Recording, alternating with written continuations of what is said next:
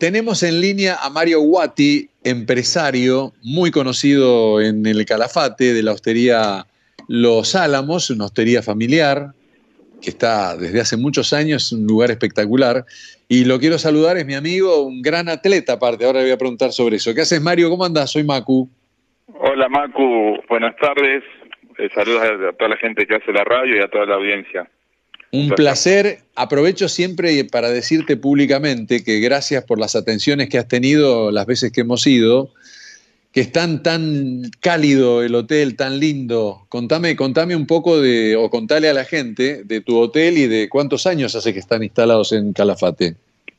Bueno, nosotros este año vamos a cumplir 40 años cuando mi papá y mi mamá decidieron a partir de que Argentina entraba en una nueva etapa, de, una nueva etapa democrática, invertir en el Calafate. Nosotros somos eh, cuarta generación de santacruceños, mis padres se conocieron, se enamoraron yendo al glaciar Perito Moreno, así que definieron en ese momento invertir en, en su provincia, en el Calafate propiamente dicho, y ahí empezó el Hotel Posada Los Álamos, que se llama Posada porque al principio tenía, cuando lo construyeron, un proyecto era de cuatro habitaciones, Después vino un operador turístico y le puso el dinero para poder hacer siete habitaciones más, entonces abrió, en 1984 abrió Hotel Posada, eh, Posada Los Álamos en realidad. Después mi, mis padres siguieron construyendo y bueno, después por eso se llama Hotel Posada Los Álamos, porque mantuvimos el espíritu de ser una posada, pero ahora tenemos eh, 145 habitaciones y bueno, tenemos una, una ubicación privilegiada porque hace, vamos a cumplir, como dije, 40 años el, el 19 de octubre de este año. Así que sí, tenemos, estamos muy contentos. Es un, es un hotel que tiene una característica muy especial que justamente tiene alrededor de 5 hectáreas eh, a dos cuadras, a 200 metros del centro comercial del Calafate. Entonces eso hace que la gente Eso lo hace espectacular, hasta una, una pequeña cancha de golf y muy cerca del lago, no solo del centro de Calafate, sino del lago también. Y hay una calle en el medio. Exacto, exacto, porque justamente dado que primero hay un aljibe natural, entonces esto era un terreno inundable en ese momento, en el 82, cuando mi padre adquiere el terreno, y también cuando rompía el glaciar Perito Moreno, el agua, que pasa muy rápido de una parte del lago a la otra, eh, llegaba hasta esta zona. Entonces era una zona que ya en ese momento no había, había casas alrededor, pero no se podía construir porque había que invertir mucho en relleno. Entonces, eh, en esa curiosidad que tenemos mucho, mucho, mucha, mucha expansión de tierra en muy cerca del centro. Mi padre, como era ingeniero y tenía, tenía una máquina vial y un camión, aceptó el desafío y bueno, rellenó todo esto y entonces pudo lograr lo que hoy es todo el predio del Hotel Posada Los Álamos.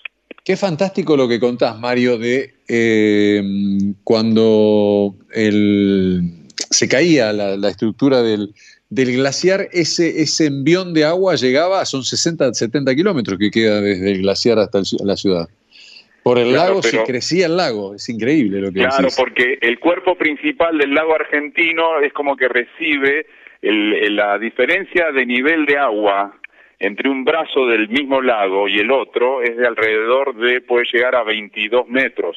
¿Cuál es el que se pone más arriba? ¿El de la izquierda, mirándolo de frente? El, de la izquierda, sur, ¿no? Brazo sur del lago argentino. Se llama brazo sur o, o, brazo rico. Ahí, si lo googlean, lo pueden ver. Imagínate, es una parte del lago que queda separada del otro, pero durante tres años se está acumulando agua y esa el desnivel es, se mide, ¿no? Alrededor de la, la, ruptura se puede producir a partir de los 10 metros de desnivel entre un lado y el otro, pero esos 10 metros de altura eh, generan mucha expansión lateral, o sea, el lago se expande en sus lados, ¿no? Ese brazo.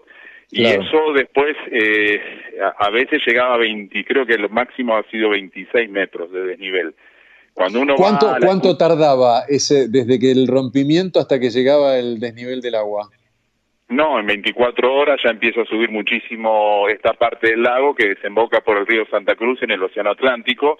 Entonces vos tenés esos 22 metros que pasan de un lado al otro en dos días, tres días. Entonces eso genera por ahí que este, esta parte del lago crezca 4 barra 5 metros y eso generaba también inundaciones por, por eso, esa cantidad de días, ¿no?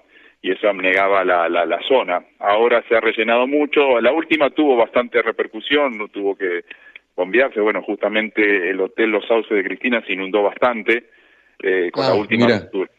Se inundó mucho, sí. Eh, ¿Cuándo fue la última vez del rompimiento? ¿De cuál estás hablando? Me, parece que 11 de marzo de hace 4 o 5 años. Ajá, o sea que está, está a punto ahora de nuevo, ¿no? No, no, no, no, ahora no porque no ha cerrado todavía. El, ah. podemos decir que el proceso de ruptura del glaciar empieza cuando el glaciar separa el lago en dos, cuando el hielo se monta en la montaña y hace un efecto de dique, de contención y separa el lago en dos. Ahora sigue conectado, no lo logra, no logra montarse y tener la fuerza para separar el lago en dos, entonces se, se producen como micro rupturas porque nunca llega a estar cerrado, entonces no no estamos todavía esperando ningún proceso. A partir que cierra, eh, y a partir que, como te digo yo, que a partir de ahí empieza, empieza uno a ver que sube el nivel del otro lado, ahí uno puede decir que empezó el proceso de, de, rompimiento, porque empieza el otro lago a crecer y el, y el glaciar lo, lo, lo, sostiene, lo, lo, lo contiene. Eh, ahí hay mediciones y a partir ya de lo, como te dije, de los 10 metros de desnivel, ya se puede esperar una ruptura eh, así que bueno, todavía eso no, no cerró, así que como mínimo, entre que cierre, que por ahí va a cerrar este invierno, que ojalá sí sea, y la próxima ruptura más o menos son dos barra cuatro años, ¿no? Ah, mira vos, o sea que estamos recién, eh, vos, falta mucho. Bueno, cuando contaste la historia de tus padres... Estuvo mucho tiempo sin romper en el último, hubo rupturas del 70 al 80 y pico, y después no rompió por varios años. Te, quería hablar de eso. romper y ahí mantuvo un ciclo permanente y después ahora parece que, que, bueno, hay que esperarlo, hay que esperarlo. No tiene la fuerza para montarse y, y empezar el proceso. ¿Cuál fue el 2011, dijiste entonces? No, ¿cuál fue el último para, no, de 2000, cuánto? 2000... Y, 2000, si me, suena 2000, no me, no 18, 19, ¿no? Puede ser, sí, sí, una vez rompió inclusive en invierno, el 9 de julio, eso me acuerdo perfecto. Ahora tengo una foto que fue el 11 de marzo, estábamos en pleno proceso de ruptura, eh, porque me apareció una foto en, en, el celular, pero no sé bien el año. Ahora sí lo bueno, puedo ver. cuando contaste la historia de tus padres, yo en el año 83-84 fui por primera vez al Calafate, que creo que nos hospedamos, no creo no, nos hospedamos en el Automóvil Club porque era uno de los pocos lugares que había. Eh, y había, ah, no, había ya algunas casitas, después nos pasaron a otro lugar, pero digamos, en ese momento eran cada cuatro años aprox que rompía. Exactamente, bueno, porque cuando, cuando se produce la ruptura, al otro año normalmente ya vuelve a cerrar.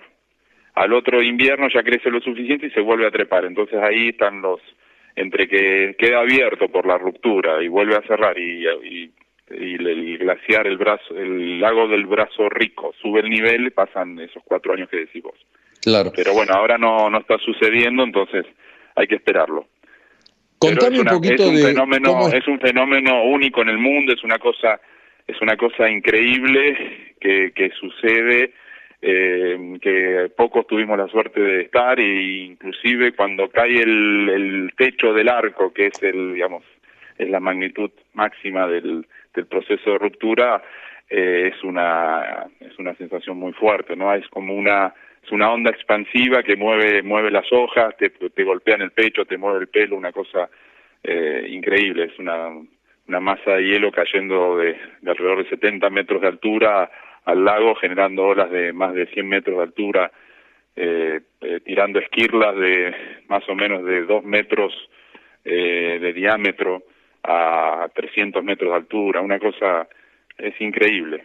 Cuando uno tiene la oportunidad de verlo es increíble. Hay fotos, invito a la gente que lo vean. imagínense que eso que ven tiene una altura de, de 70 barra 80 metros de altura, ¿no? Claro. Yo me acuerdo cuando aquella vez que fuimos nosotros había dos o tres carpas ahí donde cerca donde tienen ustedes el restaurante o eh, donde están ahora las pasarelas. En algún descanso de esos había carpas de japoneses que venían a ver el rompimiento de la televisión de Japón. Claro, bueno, pasa eso sí que viene y hay que esperarlo porque nadie sabe cuándo, cuándo empieza el proceso, que empieza con una filtración, empiezan borbotones por abajo del hielo donde el agua lo socava por abajo y se le mete y ahí una vez que se le metió y empieza eh, a pasar ya nada nada puede detener al agua, ¿no?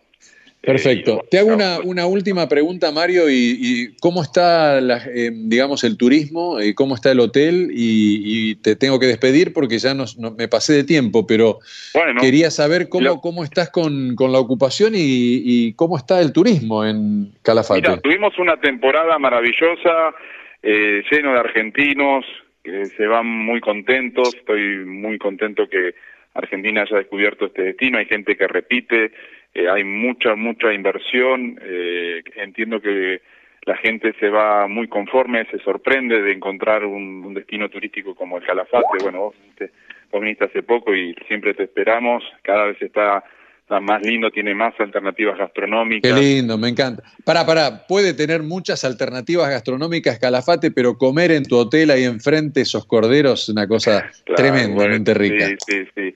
El cordero patagónico es un plato estrella.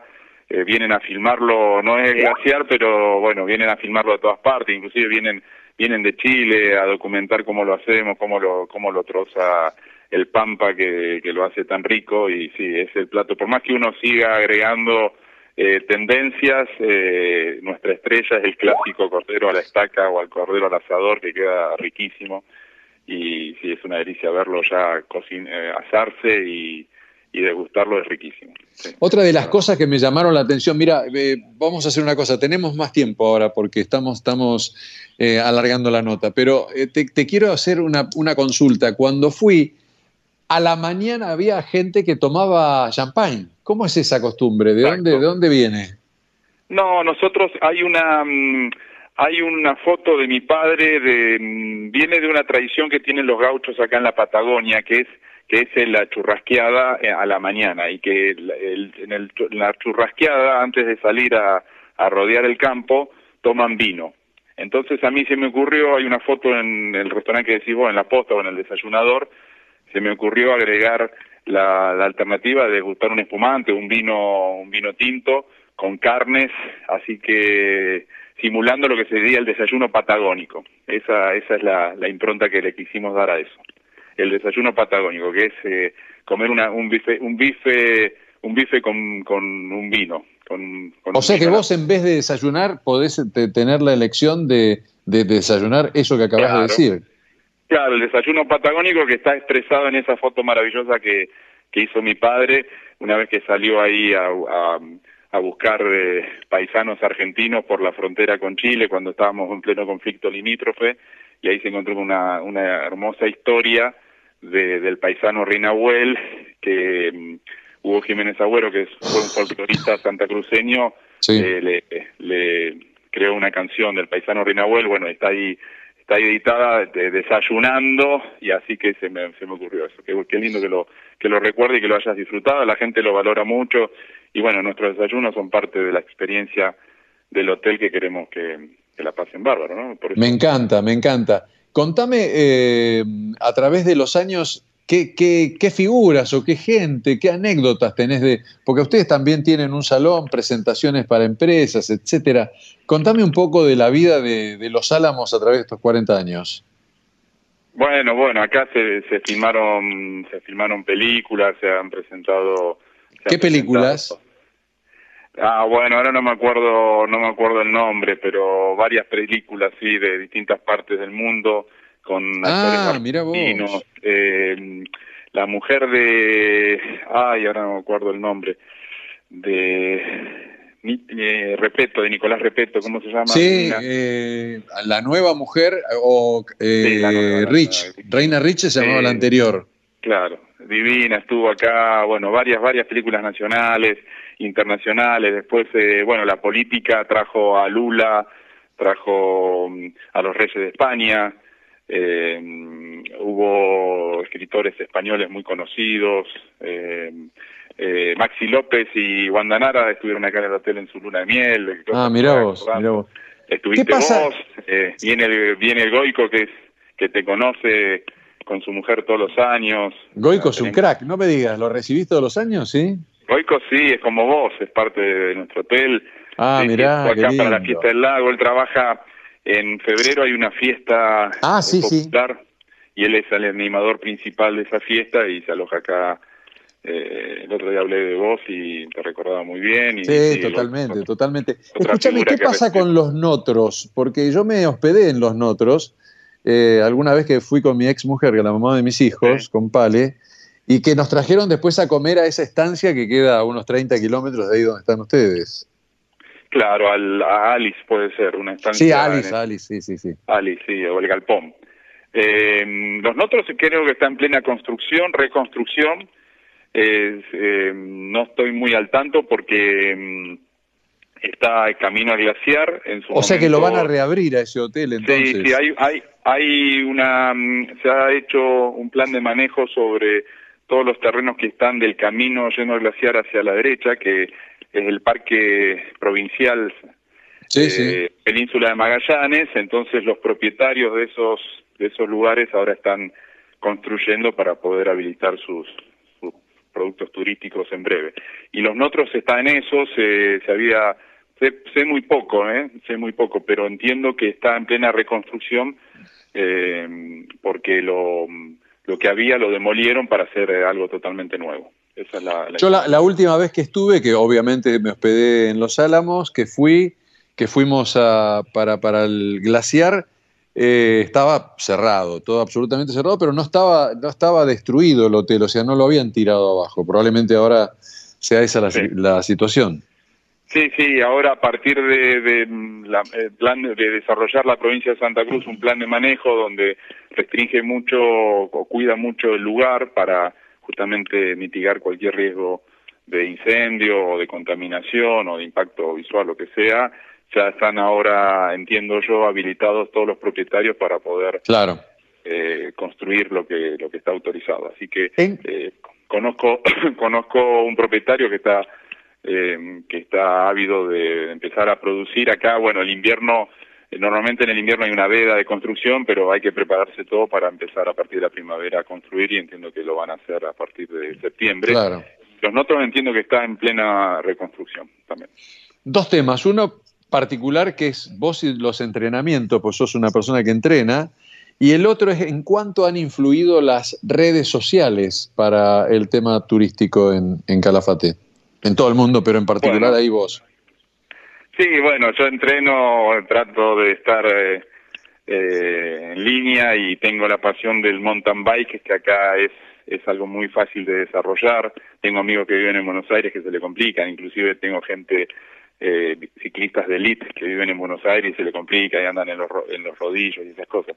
No, yo acá tengo la posibilidad de, dejo la bici en casa, salgo y ya tengo montañas a cinco minutos de mi casa y eso me da la posibilidad de de entrenar y hace y hay y hay triatlones y, y carreras eh, muy muy lindas que, están cercanas a, a la localidad que participo, inclusive en la región hay muchas, hay una en Madrid muy importante, hay una en Chile que se hace el desafío de última esperanza, el DUE, que viene gente de toda parte del mundo a correrla, porque acá las inclemencias climáticas son altas y hay mucho relieve, hay mucha montaña, mucho mucho arroyo, mucho, mucho tipo de, tierra que entonces a nosotros nos gusta para meternos en esos problemas, ¿no? Y a ver cómo, cómo podés hacer para no caerte y, y transitar. Así que eso por un lado está es algo muy lindo que tiene que tiene esta zona como toda la zona de la Patagonia. Y después las redes sociales, sí, es un, como vos sabés, es un antes y un después. Hay cosas lindas, hay cosas difíciles de entender, pero bueno, eh, uno se tiene que adaptar en cuanto a la, a la queja. Por ejemplo, hace poco vino, vino un influencer en, de YouTube muy conocido, que ahora no, no tengo el nombre, pero puso como le salió muy caro el pasaje, pues se ve que lo sacó a último momento y puso que este es el destino más caro del mundo, una cosa así, tituló su uh. video. Claro, en eso me refiero, pero el video lo vieron, no sé, millones de personas y, y dentro del video lo único caro era el pasaje que lo había sacado a último momento. Eh, y lo había sacado para Año Nuevo, creo que vino una, una, fecha muy específica. Entonces a eso me refiero, que por un lado fue un éxito, pues fue un gancho, se ve el título y cuando uno lo ve adentro, él estuvo, mira, él estuvo en el hotel y, y comió el cordero comió el cordero y habló muy ah, bien. Ah, mira vos, este chico que es el que dijo que le salió muy caro el pasaje. Sí, sí, sí, ahora, ahora por ahí lo busco mientras estamos acá. El destino más caro del mundo, así digo, el Calafate, el destino más caro del mundo. Mira, ¿y cuáles son eh, la, época, la, la, temporada alta de Calafate? Porque ahora en invierno ya baja, ¿no? La gente ya no va tanto. Acá está, el lugar en Argentina solo para ricos. Así se llama. Uh, ¿cómo se llama el pibe? El, Se llama ah, Oscar Alejandro. Ah, mira, no, no, no, no lo conozco. No, no yo tampoco, pero no sé la cantidad de gente que lo sigue. Y me imagino, ¿cuánto, ¿cuántos Casi dos millones de personas. ¡Wow! ¿Oscar Alejandro se llama él? Sí, casi dos millones de personas. Por eso te digo, cuando hablaste de redes sociales, me refería a este ejemplo que, que estuvo bárbaro. Adentro del video está buenísimo, toda la experiencia. Pero bueno, lo tituló demasiado caro en signo de preguntas y bueno, y eso. Y como me preguntaste recién, sí, ahora, ahora entramos en, en otoño. Para mí es una de las de las etapas del año más lindas. Eh, para el viento eh, está, está, más fresco, obviamente, que en verano. En verano hay días que hacen veintipico de grados, pero se pone más calmo y el bosque se empieza a cambiar de colores. Es algo muy, muy, muy lindo. Eh, acá el Calafate está abierto todo el año, se puede venir todo el año, el glaciar se ve todo el año y la experiencia es muy linda. Eh, no hace tanto frío porque acá tenemos un clima oceánico, la gente por ahí cree que hay que hace más frío de lo que realmente hace porque los, los dos océanos, el Pacífico está acá muy cerca y el Atlántico está también a 300 kilómetros de acá del Calafate, entonces toda esa masa de agua hace que la temperatura no, no varíe tanto entre el invierno y el, y el verano. Así que en invierno tenemos mínimas de menos 4, menos 5, eh, que eso se produce a la noche, y de día por ahí hay temperaturas más 3, más 4, claro, y cuando claro. espera y uno puede estarlo más bien mirando el glaciar en invierno, eh, es fantástico y, y, además tienen normalmente se, se obtienen tarifas mejores que o más bajas que las que uno puede de octubre que se consiguen en verano, o sea, la temporada de invierno es eh, digamos más accesible entre comillas que la de la de verano. Sí, ponerle un 40% más accesible en la hotelería, ¿no? Eh, en la hotelería y bueno, tiene más alternativas, el glaciar lo ves igual, lo disfrutas igual, eh, hay un poco menos de horas luz, pero acá imagínate, vos sabés, en verano hay demasiada hora luz. En verano claro. amanece a las 5 de la mañana y oscurece a las 10 y media, 22, 30 claro. de la noche. Eh, así que en invierno, sí, el día más corto acá más o menos amanece 21 de junio, amanece a las nueve y media y oscurece a las cinco y media de la tarde, pero eso te da tiempo para ir a glaciar y disfrutar de todas las excursiones que se hacen lo más bien. Totalmente. Mario, te agradezco la atención. Eh, estamos hablando pronto y bueno, como siempre, sé y gracias por hacerme sentir en casa cada vez que voy a Los Álamos y ahí al Calafate. Te espero, te guardé un vino para cuando vengas, lo tomamos también Uy, acá, qué rico. otro gran valor que tiene nuestro país, que es toda la parte de vinos argentinos, que es una delicia. Así que, bueno, cuando, cuando puedas, acá te estoy esperando. Gracias, gracias Mario. Tiempo, Abrazo a toda la Muchas gracias. Los esperamos a todos y un saludo a toda la gente de la radio. Gracias. Adiós. Gracias. Mario Guati, el presidente de la hostería Los Álamos, ahí en, en el Calafate.